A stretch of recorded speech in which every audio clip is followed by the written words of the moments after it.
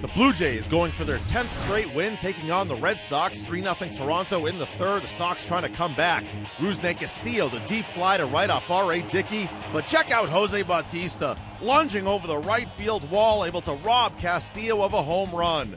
The Blue Jays add to their lead in the fourth. Jose Reyes with the base hit off Clay Buchholz. Kevin Pillar scores to make it 4 0. Reyes extends his hitting streak to 10 games. Back comes Boston though in the sixth, now 4 to 3. David Ortiz with a monster home run to right, number 8 on the year. We're knotted at 4. It would stay that way all the way to the 11th until Russell Martin with a solo shot to left center off Matt Barnes. The Blue Jays go up 5 to 4. They're fired up. They should be. They go on to win it by that final in 11 innings for their 10th consecutive win. The Red Sox have now lost 5 straight.